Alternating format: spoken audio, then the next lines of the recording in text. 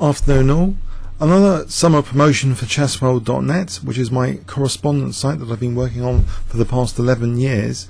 Um, a, a core feature has always been annotated games. And if you go, there's a new tab, freebies, which you can actually check out some of the annotated games on the site. So annotated master games, annotated site games, as well as of course um, there's a video search.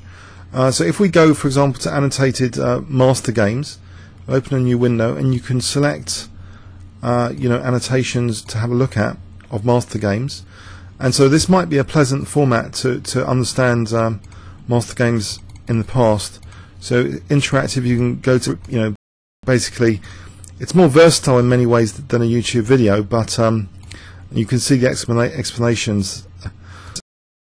Uh, master games and annotated site games uh, to check. So that's on the freebies tab. If you log in as a guest member, uh, as a full member, if you did become a full member, these would always be available on the improved menu.